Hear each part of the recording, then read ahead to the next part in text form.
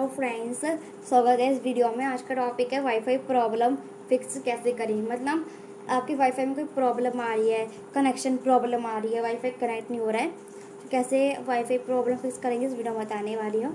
और फ्रेंड्स मेरे पास टेक्नो का फ़ोन है, आप देख सकते हैं। फ्रेंड्स आपको सेटिंग को ओपन कर लेंगे।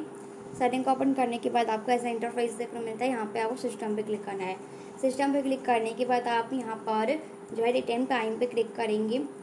सो फ्रेंड्स आपको यहाँ पे इस पर क्लिक करना है और इसके बाद आपको यहाँ पे रीसेट वाईफाई मोबाइल ब्लूटूथ पे क्लिक करना है और यहाँ से आप रीसेट सेटिंग क्लिक करेंगे लॉक ओपन करेंगे, दोबारा रीसेट सेटिंग में क्लिक कर देंगे फ्रेंड्स आपका जो है वाईफाई प्रॉब्लम फिक्स हो जाएगा।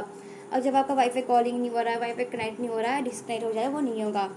फ्रेंड्स आए और आपको वाईफाई प्रॉब्लम फिक्स करना आ गया होगा तो प्लीज़ आप मेरे चैनल को सब्सक्राइब कर लीजिएगा और मेरे वीडियो को लाइक और शेयर कर लीजिएगा मिलते हैं नेक्स्ट वीडियो में, तब तक के लिए नमस्कार।